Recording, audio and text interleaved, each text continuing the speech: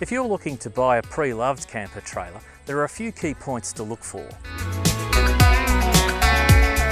So when looking at the trailer, first impressions can be deceiving, but make sure you have a good look around the trailer. Check underneath the chassis to see if there's any rust, any fatigue cracking, uh, evidence of repairs or welding. The suspension should also be looked at. Have a look that all the bushes and components are in good condition. You may have to get on your back to do this, but it'll be worthwhile. Inside the trailer, open the tent up. Has the tent been stowed away wet? Is there any evidence of mildew or rot? These are very important things to consider.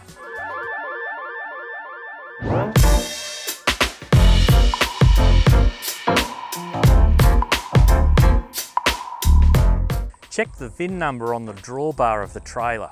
That'll have all the details of the serial number, the date of manufacture, and some of the other details important to the carrying capacity of that individual trailer.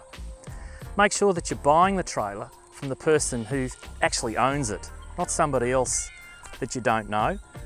You can do this by going through VicRoads and check the registration number that matches with the serial number of the trailer.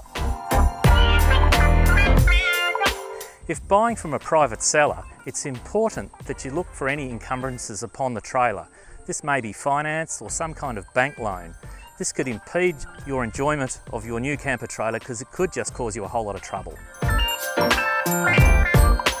For peace of mind, it's worth considering not only the private seller, but a reputable dealer. I hope you enjoy and find this video useful. Mars Camper Trailers, where your journey begins.